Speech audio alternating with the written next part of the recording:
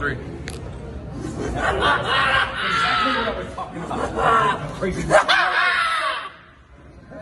Just survival. You just won your match successfully. How does that feel? Lo maté y lo voy a matar otra vez si se mete en el medio mío. Ah! How does it feel? How does it feel? I was the lucky one. That's right. I got to sit ringside and watch exactly what this crazy little thing did to Budd Heavy. And Budd Heavy's not the only one. The rest of you, the rest of you at Rocksteady, better be on notice because you might be getting a little misty-eyed soon.